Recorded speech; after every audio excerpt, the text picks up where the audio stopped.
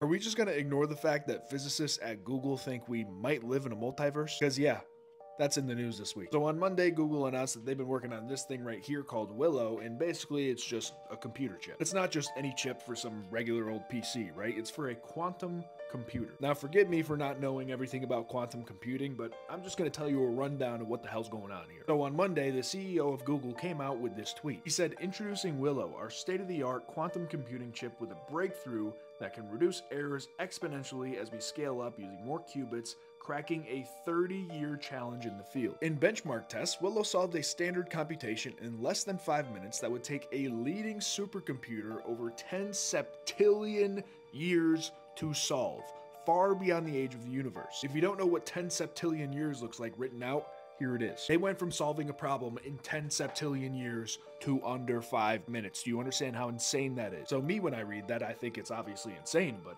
I have no idea what it means, right? Well then Google just decided to drop this on us, it lends credence to the notion that quantum computation occurs in many parallel universes, in line with the idea that we live in a multiverse. Again, this is way above my pay grade, but from what I'm gathering about this is that these quantum computers use other quantum computers in a multiverse to solve these problems very fast. And I don't know how the hell they figured this out. If someone smarter than me can explain, feel free. But the idea that we live in a multiverse is becoming more and more real every day.